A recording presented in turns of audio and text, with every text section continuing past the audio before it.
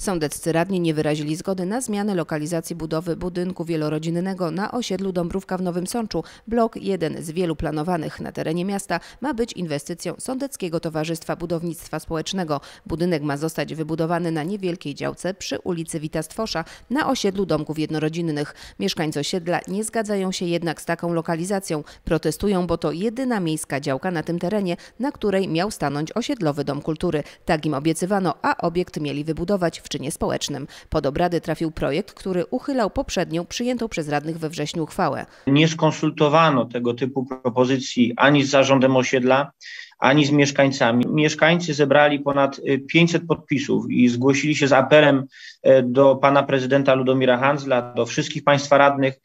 Wszyscy też te podpisy otrzymaliście, ponieważ mieszkańcy chcieli przekazać swój wyraz właśnie sprzeciwu wobec planowaniu budowy budynku wielorodzinnego mieszkalnego Cichy Kącik. Przedstawiony projekt uchwały wywołał trwającą niemal trzy godziny dyskusję. Nie widzę żadnego tutaj uzasadnienia, aby teraz tę decyzję zmieniać, zwłaszcza, że nie zmieniły się w jakiś szczególny sposób okoliczności. No to, że jakaś grupa mieszkańców podnosi, że te, te, te działania się jej nie podoba, no to no niestety, ale zawsze przy tego typu projektach będzie pewna grupa osób, która nie będzie z tego zadowolona. Trzeba zabezpieczyć oczywiście życie społeczności lokalnej, ale do tego naprawdę niepotrzebne jest budowanie osobnego domu kultury. A jak dodał wiceprezydent Artur Bochenek, sądeczanie oczekują na budowę domów wielorodzinnych. Już na chwilę obecną jest około 400 wniosków mieszkańców o takie mieszkanie.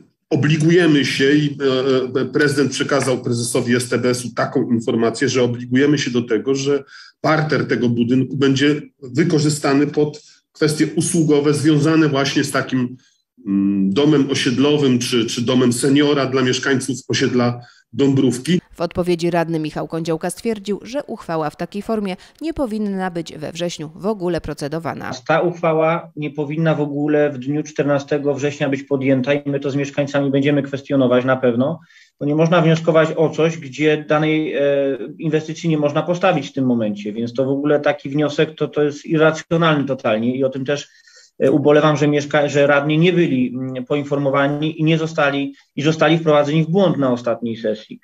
Zgodnie z planem zagospodarowania przestrzennego to jest teren yy, domów jednorodzinnych. I tam chcecie Państwo wprowadzić domy yy, o kilku kondygnacjach. Zmieniacie teraz na szybkiego plan zagospodarowania przestrzennego. No mieszkańcy tego nie poprą. Będą wnosić sprzeciwy. Będą wnosić sprzeciwy, bo od lat ta działka była obiecana przez poprzedników, a jest ciągłość władzy na cele osiedla. A jak przypomniał radny Wojciech Piech, pod petycją podpisało się 500 mieszkańców. Ich głosu nie można lekceważyć. Żenujące jest i, i wymaga krytyki to, że niektórzy spośród nas mówią o grupie społecznej, poważnej grupie społecznej mieszkańców osiedla Dąbrówka, składającej się z 500 mieszkańców. Mówią jakaś grupa, jacyś mieszkańcy, jakaś inicjatywa, jakaś zagrywka polityczna, jak można w ten sposób mówić o mieszkańcach Nowego Sącza. W związku z tym, że miasto planuje sprzedać działkę przy ulicy Łącznik, radny Artur Czernecki pytał, czy nie lepiej właśnie w tym miejscu zlokalizować nowe osiedle. Czy te 3 hektary, to jest olbrzymi obszar, 58 km kwadratowych, jest w stanie przeznaczyć na budownictwo wielorodzinne, kosztem na przykład tego jednego bloku. Na to pytanie wiceprezydent nie odpowiedział, ponieważ wylogował się z sesji. Ostatecznie projekt upadł, zagłosowało 9 radnych, przeciw 11, trzech wstrzymało się od głosu. Mieszkańcy zapowiadają dalsze kroki w tej sprawie.